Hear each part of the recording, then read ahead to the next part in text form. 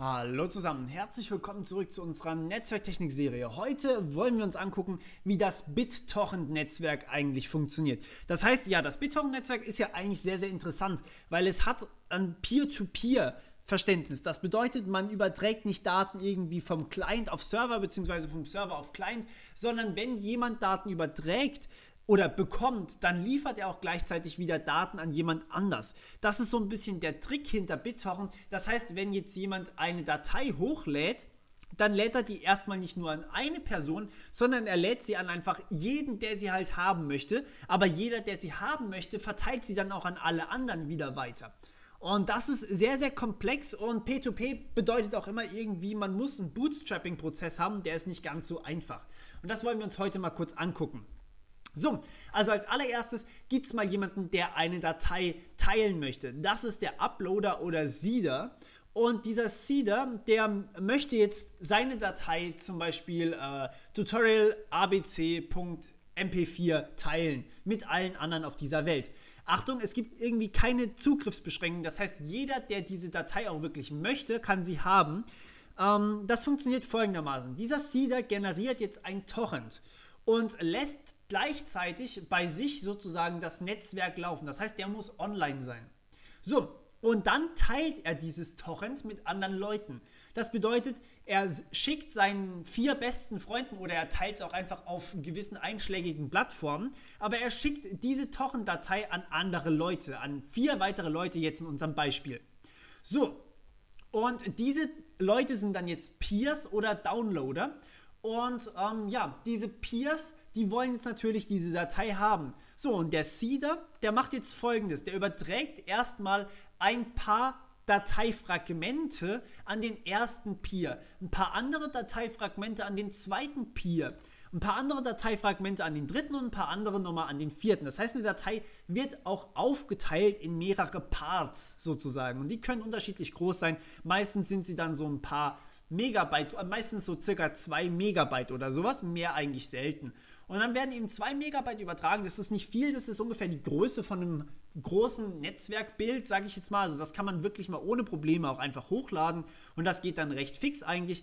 Und der Übertrag trägt jetzt einfach diese Dateien an diese Downloader. Aber er muss nicht alles übertragen, also nicht seine ganze Datei viermal übertragen, sondern dieser Downloader, der erste zum Beispiel, der hat jetzt andere Parts als der zweite. Also die beiden links oben und links unten haben unterschiedliche Dateifragmente. Und das bedeutet, der obere Downloader kann jetzt auch dem unteren Downloader seine Dateifragmente zur Verfügung stellen und der untere stellt sie dem oberen zur Verfügung. Das bedeutet, der Seeder, der in der Mitte, der die Datei ursprünglich teilen wollte, muss jetzt diese ganzen Dateiparts nur ein einziges Mal hochladen und es haben aber schon zwei Leute. Und wenn die jetzt noch anfangen miteinander zu teilen, die und die, dann ist insgesamt die komplette, also das ist, das ist im Endeffekt diese P2P-Struktur. Jeder teilt seine Dateifragmente mit jedem anderen und sozusagen unglaublich soziales Konzept eigentlich, wenn man so möchte. Denn der Seeder muss jetzt eben insgesamt die Datei auf jeden Fall ein einziges Mal teilen und dann muss im Endeffekt jeder andere auch wieder die Datei sozusagen teilen. Das heißt, jeder schiebt einfach die ganze Zeit irgendwelche Fragmente hoch und die Reihenfolge von diesen Fragmenten, die ist völlig egal. Und der Torrent-Client an sich, also zum Beispiel BitTorrent oder uTorrent oder sowas, die ähm, ordnen dann die einzelnen Fragmente und bringen das dann wieder in eine Ordnung. Und am Ende hat man wieder eine Datei oder mehrere Dateien. Es können auch mehrere Dateien in einem Torrent drin sein.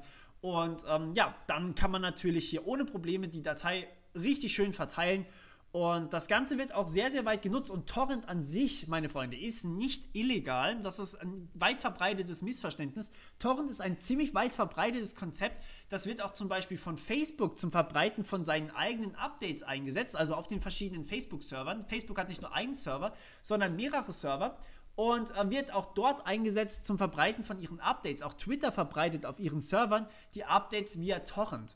Und das ist ziemlich nützlich, weil ja klar, die, die Server laden einfach gleichzeitig die ganzen Parts hoch und so hat man eigentlich das schnellste Konzept überhaupt.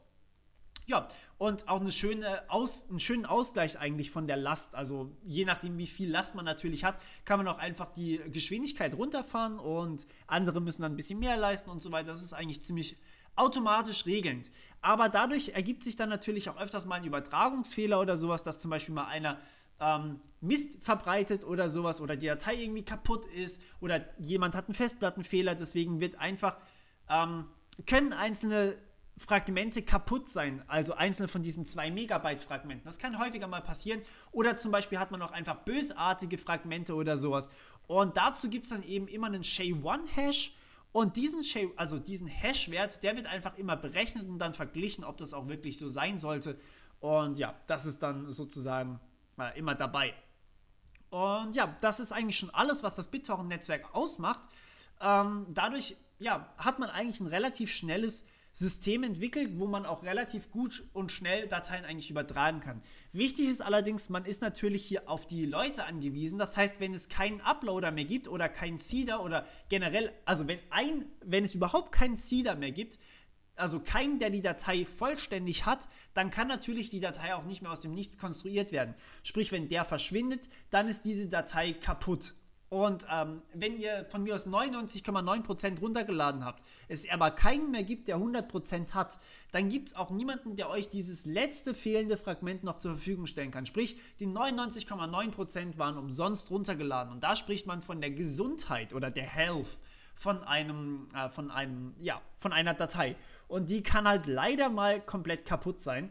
Aber wenn jetzt zum Beispiel eine Datei sich wirklich rasend schnell verbreitet und mehrere hundert oder tausende Seeder vorhanden sind, dann geht das unglaublich fix. Da habt ihr Download-Speede, das ist nicht mehr normal. Also da seid ihr quasi sofort fertig. Das ist schneller als wenn ihr Steam oder keine Ahnung, ja, bei Steam irgendwas runterladet.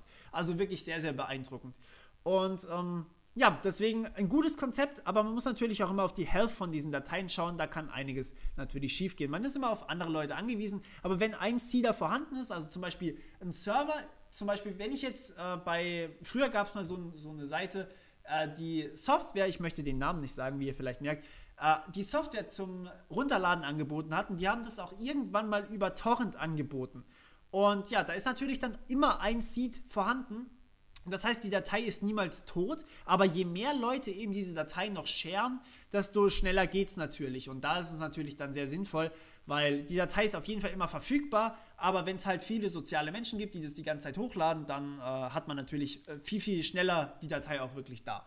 Und ja, das ist eigentlich so alles, was ich euch dazu sagen möchte. Das Konzept an sich ist wirklich nicht kompliziert. Ähm, das Bootstrapping hier wird einfach umgangen, sozusagen, indem man die Seeder dazu zwingt, den Link anderweitig zu teilen, also den Link dann irgendwie zu verschicken oder sowas. Und ähm, ja, man muss nicht einfach nur das Protokoll starten oder den Client starten und man hat plötzlich schon das Torrent. Nein, das Torrent muss auch so nochmal verteilt werden, wo dann drin steht eben, mit welchem Seed man sich verbinden soll. Gut, und ja, das war's von meiner Seite wieder mal. Wir hören uns beim nächsten Mal. Bis dann. Ciao.